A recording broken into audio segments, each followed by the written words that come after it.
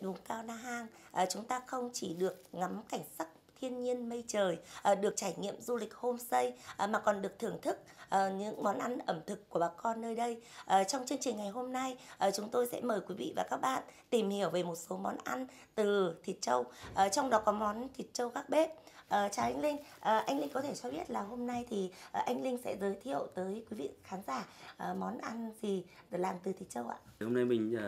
sẽ giới thiệu với mọi người là món thịt trâu gác bếp. Uh, món thịt trâu mà được uh, rất là uh, những người dân tộc ở trên này và khách thập phương rất là ưa chuộng.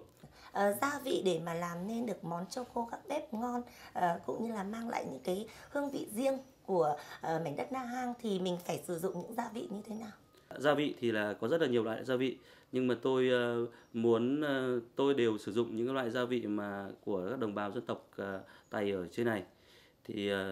thường thì gồm có những cái gia vị chính như là hạt dổi này, mắc khén này, thì, uh, gừng này, tỏi này, ớt này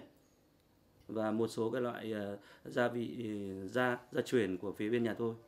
khoảng thời gian bao nhiêu lâu thì chúng ta sẽ hoàn thành món thịt trâu khô gác bếp? Thường thường thì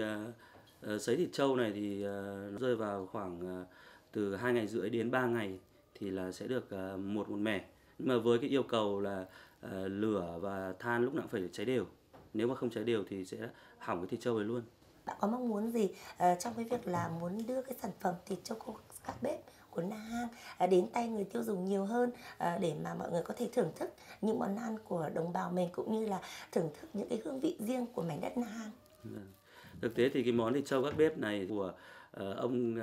uh, bà của mình ngày xưa để lại bây giờ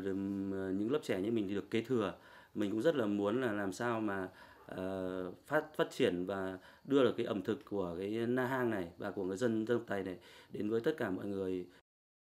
Đời sống ẩm thực của người Việt vốn rất phong phú, cả miền núi hay vùng xuôi đều có những món ăn khác nhau mang đậm nét văn hóa của từng vùng.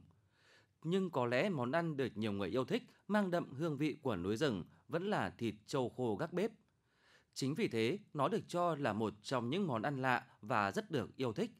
Món ăn này đang dần được du khách lựa chọn làm quà mỗi dịp đến với huyện vùng cao Na Hàng.